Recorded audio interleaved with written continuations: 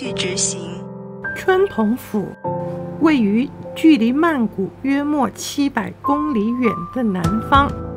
一则新闻报道一位圆寂不久的泰国高僧，今生安置在佛堂里，供人膜拜。前不久，一场大火将佛堂烧个精光。令人意外的是，安置金身的棺木却只是外观被熏黑，里面的金身却是毫发无损。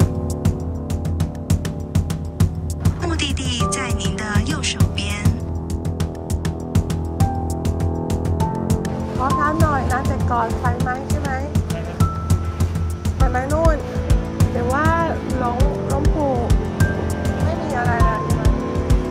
泰国媒体也不断报道这件神奇事迹，全国信徒纷纷前来膜拜法师金身，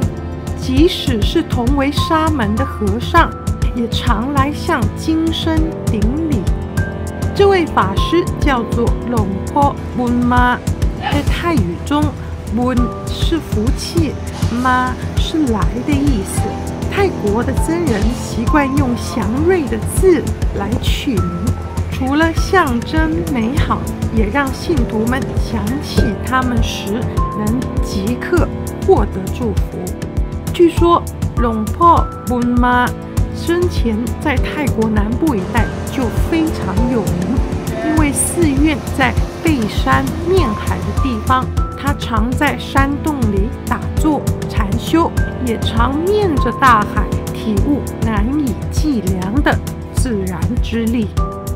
因此，自修出一套法门，帮助信徒们安居乐业和经常得到意外之财的运气。人类与大自然共存在地球千万年，